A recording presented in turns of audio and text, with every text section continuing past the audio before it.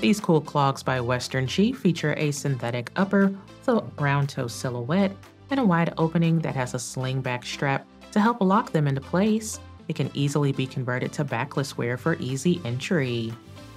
There's some perforations on the side for breathability and a toe cap for added protection and durability. They also have a cool sunflower and rooster print to give you a unique look that brings sunshine to your day. Inside, there is a synthetic lining with a cushioned and textured footbed that is contoured to keep you comfortable. There is also a roomy toe box for added comfort as well.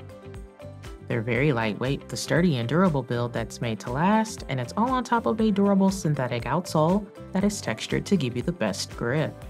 Wear these with your favorite pair of denim.